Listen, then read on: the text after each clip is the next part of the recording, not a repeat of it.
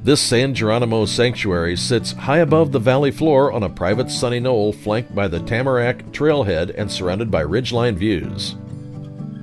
The property offers two bedrooms and one bath, all opening to the garden and patio areas on approximately 2.4 acres. Enjoy the ever changing views of West Marin. Truly a destination property, this home offers an ideal balance of Northern California living for both indoor and outdoor entertaining, making this a great getaway to recharge and unwind.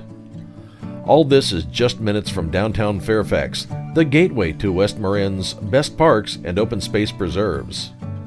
See it in person by calling Michael Cusick